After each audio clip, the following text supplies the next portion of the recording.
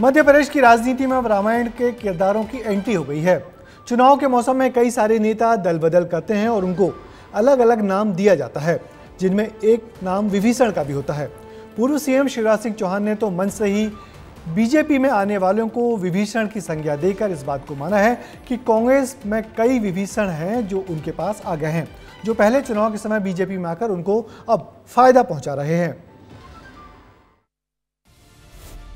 लोकसभा चुनाव के पहले विभीषण की एंट्री। विभीषण के सहारे जीत की तैयारी। मध्य प्रदेश की राजनीति में कौन बना विभीषण? लोकसभा चुनाव के पहले विदिशा से बीजेपी उम्मीदवार शिवराज सिंह चौहान को एक बार फिर से विभीषण याद आ गए हैं। वो लंका जीतने की बात कर रहे हैं, लेकिन सहारा ले रहे हैं विभीषण का। शिवराज सिंह चौहान के पास एक नहीं, बल्कि कई विभीषण हैं जो उनको लंका जीतने में मदद करने वाले हैं। दरअसल विदिशा में कार्यकर्ताओं के बीच पहुँचे शिवराज ने बीजेपी ज्वाइन करने वाले कांग्रेसियों को अपना विभीषण बताया। आपको पता है कि रावण मरता ही नहीं था।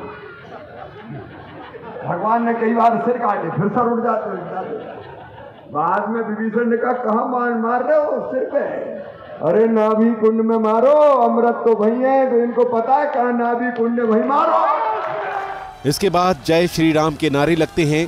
शिवराज सिंह चौहान आगे कहते हैं कि कांग्रेसियों के आने से अब अपने को सब बातें पता लग जाएँगी। अब अपन को दिक्कत थोड़ी बताने वाले आ गए अपन को। रिकॉर्ड ऐसे ही बनेगा शशांक जी राकेश जी वैसे नहीं बनेगा। और इसलिए अब अपन को सारी चीज़ें पता चल जाएँगी। शिवराज के पहले रतलाम में सीएम डॉक्टर मोहन यादव भी इसी तरह का बयान दे चुके हैं। पूर्व कांग्रेस विधायक मनोज चावला और कांग्रेस के पूर्व महासचिव प्रमोद गुगालिया को सदस्यता दिलाते वक्त मोहन यादव ने उनको विभीषण बताया था। एक तो दूसरा आ जाता। क्या कांग्रेस खाली हो रही आनंद भी रहा क्योंकि कांग्रेस के लोग अपने से ज़्यादा समझदार है।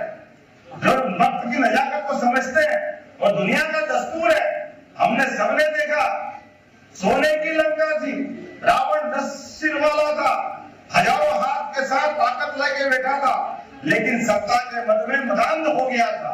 तो उसके घर में भी तो विभीषण थे, जिनने कहा, भैया, ये जाए, मरे तो मरे, अपना तो बचे। ये विभीषण के माध्यम से सनातन संस्कृति की जय जयकार लाखों लाख साल से हुई। हालाँकि ये पहला मौका नहीं है जब बीजेपी वाले कांग्रेसियों को विभीषण बता रहे हैं। इससे पहले 12 मार्च 2020 को भी शिवराज सिंह चौहान ने ज्योतिरादित्य सिंधिया को विभीषण बताया था। उस वक्त सिंधिया कांग्रेस छोड़ बीजेपी में ज्वाइन हुए थे। लेकिन रावण की लंका अगर पूरी है तो विभीषण की तो ज़रूरत होती है और अब सिंधिया जी हमारे साथ मिलकर लड़ेंगे इनको धराशायी करेंगे। सियासत में बयान के अपने ही मायने होते हैं। विदिशा लोकसभा सीट से भाजपा के प्रत्याशी और मध्य प्रदेश के पूर्व सीएम शिवराज सिंह चौहान ने विदिशा में एक मंच से कह दिया। कांग्रेस पार्टी से भारतीय जनता पार्टी में आने वाले लोग विभीषण हैं।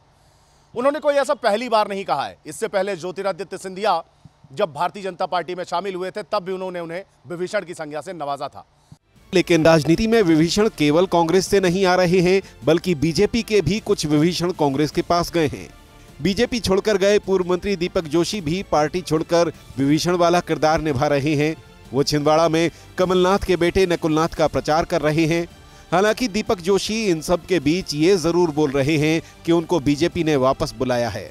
बीजेपी प्रदेश अध्यक्ष विष्णुदत्त शर्मा और डॉक्टर नरोत्तम मिश्रा का नाम भी लिया कि उन्होंने अलग अलग फ़ोन करके मुझे दो नेताओं से माफ़ी मांगने के लिए कहा था, जो मुझे स्वीकार नहीं था। पहले सामान्य बी डी शर्मा जी और नरोत्तम मिश्रा जी का फ़ोन मेरे पास आया और मुझसे कहा गया कि आपको दो लोगों से घर जाकर माफ़ी मांगना होगी। तो मैंने कहा था, मैं पार्टी से माफ़ी मांगने के लिए तैयार हूँ, व्यक्तियों से माफ़ी मांगने के लिए कदापि तैयार नहीं मैंने ऐसा कोई आचरण व्यवहार नहीं किया जिससे इन व्यक्ति, व्यक्तियों को किसी प्रकार का मैंने नुकसान पहुँचाया। लेकिन अगर आपको लगता है तो मैंने किसी सिद्धांत और नीति के आधार पर इनके खिलाफ बोला है और अगर लगता है तो मैं कदापि इनके साथ माफ़ी नहीं मांगूँगा और नहीं जाऊँगा। दीपक जोशी वापस बीजेपी में नहीं गए लेकिन विपक्षियों के साथ रहकर विभीषण वाली भूमिका निभा रहे हैं।